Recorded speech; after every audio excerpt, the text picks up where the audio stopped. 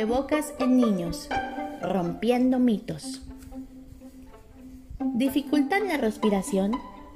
No, son hechos de materiales respirables que no bloquean el oxígeno que el niño necesita, no afectan la capacidad para poner atención o aprender en la escuela.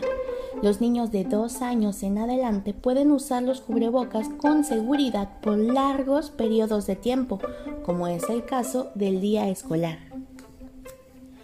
¿Atrapan el dióxido de carbono? No.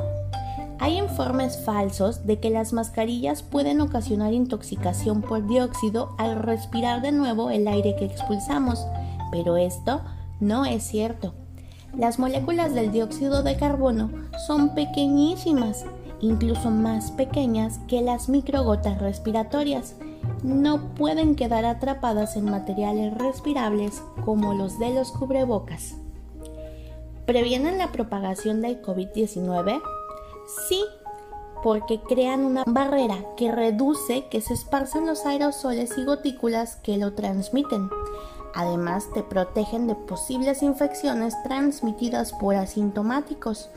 Son seguras y efectivas para cualquier persona mayor de 2 años y porque los niños aún no tienen esquema completo de vacunación muchos no tienen ni siquiera la primer dosis. Entonces, usa el cubrebocas y ponle cubrebocas a tus hijos.